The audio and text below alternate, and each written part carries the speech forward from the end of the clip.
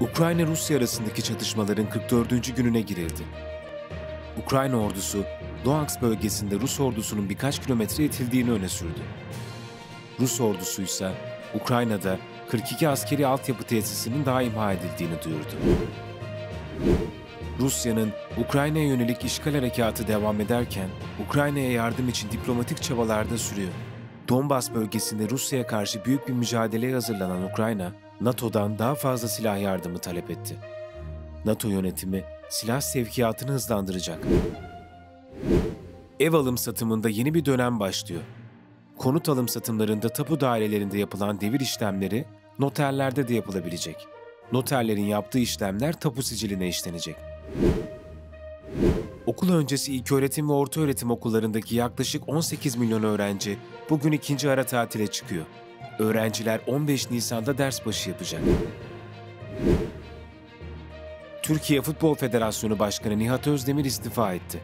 Yapılacak yeni seçime kadar başkanlık görevine Başkan Vekili Servet Yardımcı'nın vekalet edeceği belirtildi.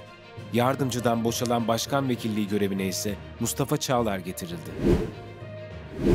Vakıfbank, Şampiyonlar Ligi yarı finalinde 3-1'in rövanşında Fenerbahçe Opet'e 3-0 yenilmesine rağmen altın set sonucunda Sarı Lacivertlileri elemeye başardı ve adını finale yazdırdı. Bahçeşehir Koleji, FIBA Avrupa Kupası yarı final rövanş maçında ZZ Leiden'la karşı karşıya geldi. İlk mücadeleyi 77-71 kazanan Bahçeşehir Koleji, rövanşta da rakibini 90-80 mağlup etti. Spor Toto Süper Lig Ahmet Çalık sezonunun 32. haftasında Fenerbahçe sahasında ezeli rakibi Galatasaray'ı konuk edecek. Pazar günü saat 20.30'da başlayacak karşılaşmayı Atilla Karaoğlan yönetecek.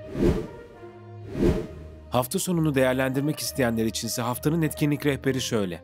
İpek Bilgin, Aslı Enver, Cem Yiğit Üzümoğlu, Güven Murat Akpınar gibi başarılı oyuncuları buluşturan Sırça, cumartesi akşamı maksimum Unicol'da seyircisini bekliyor. Olmasa mektubun, telli telli gibi efsanevi şarkıların hafızalarımıza kazınmasına vesile olan yeni türkü, pazar akşamı Zorlu sahnesinde olacak. Bu hafta 11 yeni film vizyona giriyor. Haftanın en dikkat çeken yapımlarından biri Komplo.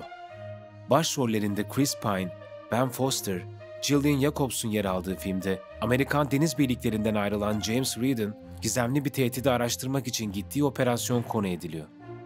Haftanın bir diğer dikkat çeken yapımı ise Bir Dilek Tut. Ailesinin taşınmasını engellemeye çalışan küçük bir çocuğun hikayesinin anlatıldığı filmde Altan Erkekli ve Vildan Atasever başrolde.